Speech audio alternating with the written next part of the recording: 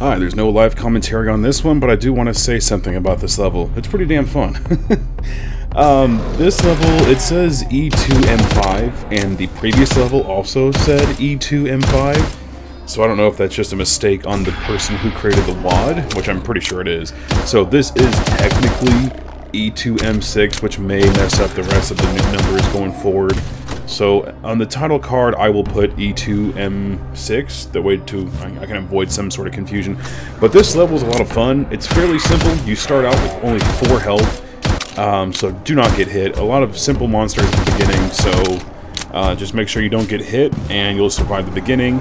The middle and end fights are not too tough, but I did die at least once whenever encountering these fights. Uh, the rocket launcher does more harm than good.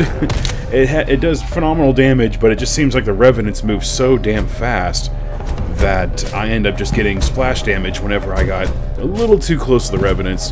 But enough of me yapping. Enjoy the gameplay.